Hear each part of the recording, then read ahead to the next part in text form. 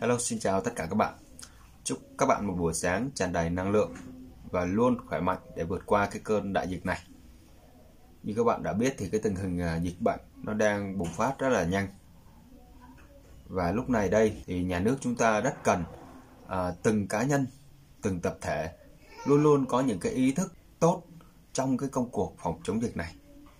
Thì à, mình cũng mong tất cả mọi người hãy luôn vững vàng và cố gắng làm theo những quy định và chúc ờ, tất cả mọi người luôn luôn có một cái ý thức thật là tốt để mà ngăn ngừa cái dịch bệnh này.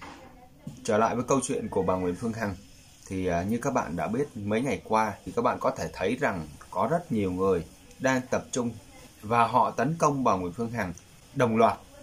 Đồng loạt ở đây là gì?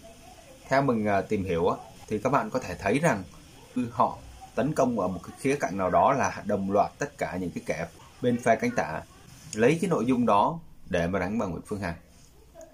Thực sự thì có thể nói là chúng đã dùng rất là nhiều những cái thủ đoạn các bạn.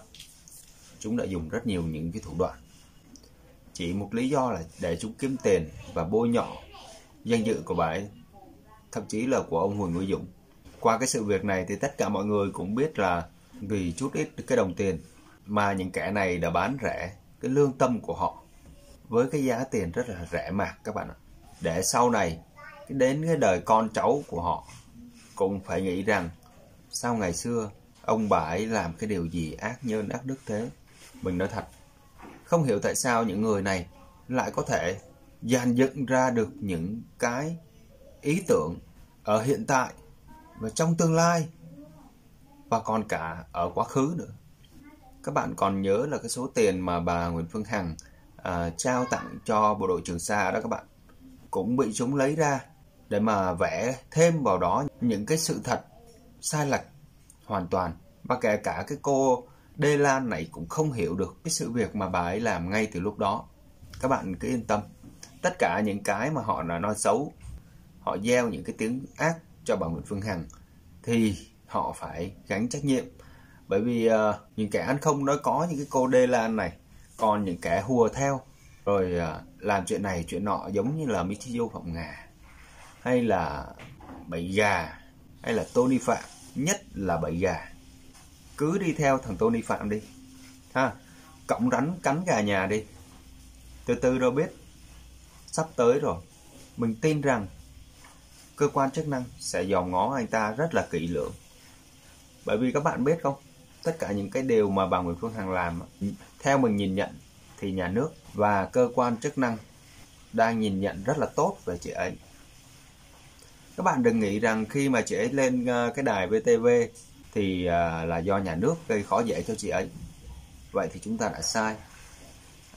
Khi họ muốn nhắc nhở thì họ phải nhắc nhở đồng đều. Họ đưa ra những cái ý kiến đồng đều. Nhưng xét về cái mức độ mà vi phạm thì các bạn phải biết rằng ai là người bị nhắc nhiều hơn. Và cái mức độ vi phạm đó, nó có gây ảnh hưởng lớn đến cộng đồng hay không? Và qua cái sự việc này mình cũng thấy rằng bà Nguyễn Phương Hằng đã giải quyết được rất nhiều thứ cho xã hội chúng ta ngày càng tươi đẹp hơn. Và để phản biện lại cái xuyên tạc của cái cô Đê Lan cũng như là Michio hay là Tony Phạm thì à, mình sẽ chia sẻ với các bạn một cái bài viết vào năm 2013 à, đó là một cái bài viết trên báo Tài nguyên Môi trường. Xin mời tất cả các bạn cùng lắng nghe. Đồng ý tiếp nhận khối tài sản trăm tỷ của bà Nguyễn Phương Hằng tặng bộ đội Trường Sa. Theo chỉ đạo của Bộ Tư lệnh Quân chủng Hải quân sáng ngày 11 tháng 12 Bộ Tư lệnh vùng 4 đã làm việc với vợ chồng bà Nguyễn Phương Hằng và ông Huỳnh Uy Dũng như báo Tài nguyên Môi trường đã đưa tin, bà Nguyễn Phương Hằng, Phó Tổng Giám đốc Công ty Cổ phần Đại Nam, à, lúc à, vào năm 2013 thì à, bà Nguyễn Phương Hằng đang giữ chức Phó Tổng Giám đốc. Vừa công bố sẽ ủy quyền công chứng cho tặng 50% cổ phần của bà trong công ty trách nhiệm hữu hạn Đông Nam Long, vườn cao su hơn 360 ha tại Bình Phước, trị giá khoảng 170 tỷ đồng cho bộ đội Trường Sa sau khi đã có kết luận điều tra của cơ quan an ninh điều tra của Bộ Công an. Đó, bà ấy đã ủng hộ 50% cổ phần của bà ấy trong cái công ty trách nhiệm hữu hạn Đông Nam Long và trị giá của 50% mà bà ấy trao tặng là khoảng 170 tỷ đồng cho các chiến sĩ Trường Sa. 170 tỷ mà thời đó nó rất là lớn các bạn. Và sau khi xác minh điều tra thì họ đã tuyên bố là không có gì vướng mắc cả. Đó, đã rõ các bạn nha, đã rõ ràng về vấn đề đó nha. Mình xin đọc uh, cho nó trọn vẹn cái cái bài viết này nhé. Bộ Tư lệnh vùng 4, Quân chủng Hải quân làm việc với vợ chồng ông Huỳnh Uy Dũng và bà Nguyễn Phương Hằng ngày 11 tháng 12 năm 2013 tại nhà riêng. Ngay sau khi bà Hằng công bố thông tin trên, theo chỉ đạo của Bộ Tư lệnh Quân chủng Hải quân, sáng ngày 11 tháng 12 năm 2013, Bộ Tư lệnh Vùng 4 Quân chủng Hải quân đã có buổi làm việc với vợ chồng bà Nguyễn Phương Hằng, ông Huỳnh Uy Dũng tại nhà riêng ở thành phố Hồ Chí Minh. Dự buổi làm việc có chuẩn đô đốc Phạm Thanh Hóa, chính ủy Bộ Tư lệnh Vùng 4 Quân chủng Hải quân, Đại tá Nguyễn Hải Triều, Cục Phó Cục Chính trị Bộ Tư lệnh Quân chủng Hải quân phía Nam, Đại tá Hà Xuân Sứ, đại diện Bộ Tư lệnh Quân chủng Hải quân phía Nam. Phát biểu tại buổi làm việc, chuẩn đô đốc Phạm Thanh Hóa, chính ủy Bộ Tư lệnh Vùng 4 Quân chủng Hải quân nói, Thay mặt cán bộ chiến sĩ của quân chủng Hải quân, tôi rất cảm động và xúc động trước tình cảm, trách nhiệm của vợ chồng anh Dũng chị Hằng đã có hành động dũng cảm là trao tặng một khối tài sản lớn của mình cho cán bộ chiến sĩ Trường Sa với mục đích cao cả.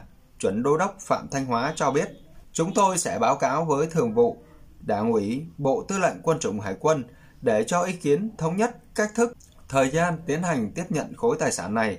Những bước tiếp theo sau đó là giải quyết dứt điểm những tồn tại liên quan với các cơ quan pháp luật và cơ quan liên quan trên địa bàn. Đại diện Bộ Tư lệnh Quân chủng Hải quân phía Nam, Đại tá Hà Xuân Sứ đánh giá rất cao sự đóng góp của vợ chồng ông Huỳnh Uy Dũng và bà Nguyễn Phương Hằng. Theo Đại tá Hà Xuân Sứ, nhiều năm qua, mặc dù còn nhiều khó khăn, nhưng Đảng, Nhà nước ta đã luôn luôn quan tâm, đầu tư, tạo mọi điều kiện cho quân chủng Hải quân để có sức mạnh bảo vệ vững chắc chủ quyền biển, đảo của Tổ quốc.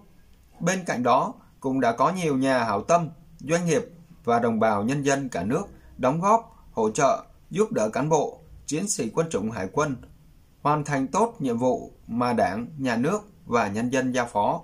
Đại tá Hà Xuân Sứ nói, việc làm của vợ chồng anh Dũng chị Hằng không những có ý nghĩa to lớn về mặt vật chất mà còn ý nghĩa về tinh thần đối với cán bộ chiến sĩ quân chủng hải quân.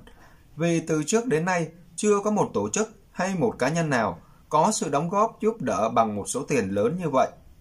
Về các bước tiếp theo, chúng tôi sẽ báo cáo với Thường vụ Đảng ủy Quân chủng Hải quân kiến nghị thành lập một ban chuyên giải quyết vấn đề này càng nhanh càng tốt để lực lượng hải quân sớm có thêm nguồn lực, vật chất góp phần đầu tư cho nhiệm vụ bảo vệ chủ quyền đảo của Tổ quốc.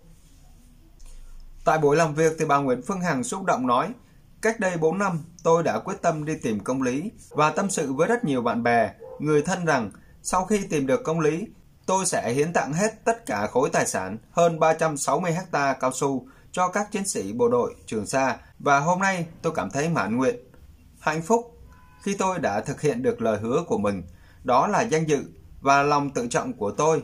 Nhân đây, vợ chồng tôi quyết định tặng 1 tỷ đồng tiền mặt cho cán bộ chiến sĩ Trường Sa đón Tết Giáp Ngọ 2014. Vâng, thưa các bạn, đó là cái chia sẻ à, của tờ báo Tài nguyên Môi trường vào năm 2013 và chính cái bài báo này à, cũng sẽ xua tan đi những cái ý kiến vớ vẩn xuyên tạc của những kẻ luôn bới móc và tìm kiếm hãm hại bà Nguyễn Phương Hằng. Có thể nói rằng những người này họ bày ra đủ cách, đủ trò để mà chỉ câu like, câu view thôi các bạn ạ. Chứ thực sự ra tất cả những điều mà họ làm họ đều hướng dư luận theo cái chiều hướng là à, phải tìm tòi à, tò mò về những cái vấn đề đó. Nhưng thực chất ra tất cả những vấn đề đó đã được giải quyết trong quá khứ. Và các bạn phải nên nhớ một câu rằng hãy đặt một cái câu hỏi đơn giản nhất để chúng ta đỡ phải đau đầu nhức óc. Là nếu ông bà ấy có lỗi trong quá khứ thì nhà nước đã hành xử ông bà ấy rồi chứ không để đến ngày hôm nay Năm nay là năm 2021 rồi thưa các bạn. Và chúng ta hãy nhìn nhận lại tất cả những việc mà ông bà ấy làm cho những người dân, cho cộng đồng. Mình uh, tin chắc rằng mọi người đa phần sẽ hiểu được những cái sự việc này và lan rộng những cái điều hay ý đẹp của bà Nguyễn Phương Hằng đến để những người đang còn tin vào ví dụ như những người như là Đê Lan hay là Michio Phạm Ngà hay là Tony Phạm.